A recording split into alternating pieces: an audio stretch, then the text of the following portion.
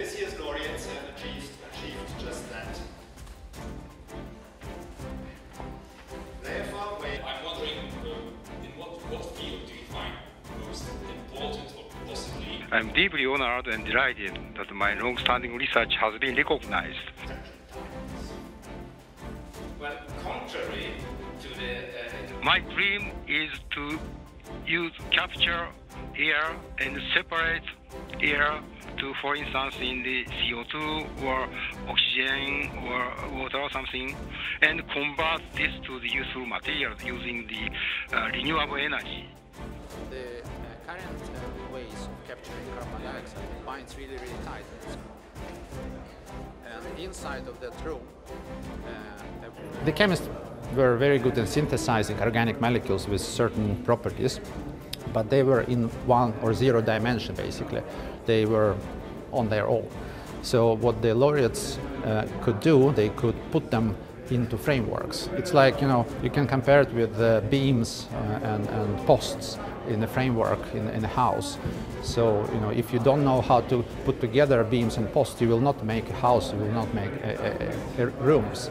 So they actually created, out of those organic uh, molecules, they created uh, houses with hallways and rooms, and those hallways and rooms can be used for filling them with uh, gases or uh, volatile molecules and separate them and, and concentrate them. So it's it's um, totally new area of chemistry.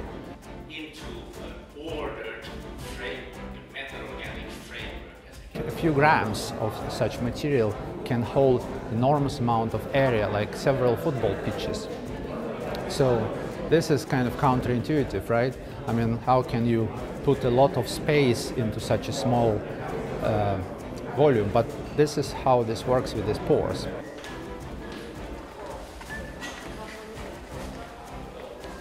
It's a lot of development now trying to create metal organic frameworks to capture carbon dioxide from the air, so to reduce uh, um, the concentration of carbon dioxide in the air and, and, and uh, mitigate the climate uh, problems.